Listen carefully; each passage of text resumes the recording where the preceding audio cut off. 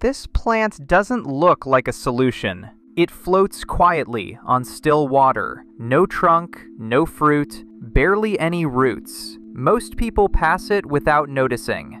But this plant feeds faster than almost anything on Earth. This is duckweed.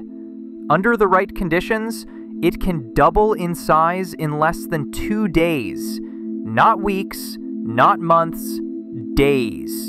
It turns sunlight into protein with extreme efficiency. Some species contain more protein than soybeans. Others are rich in iron, zinc, and essential amino acids. It doesn't need fertile soil. It doesn't need deep water. It grows in ponds, rice paddies, and even wastewater.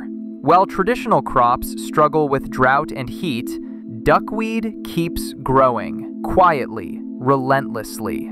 In parts of Asia, people have eaten it for centuries, dried into powders, cooked like greens, fed to fish, poultry, and livestock. Scientists now study it for a reason. It produces more edible protein per square meter than almost any crop humans grow.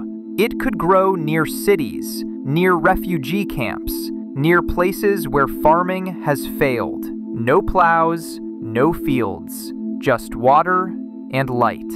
World hunger doesn't always need a miracle. Sometimes it needs a plant so small we forgot to take it seriously. This one floats, and it might be enough.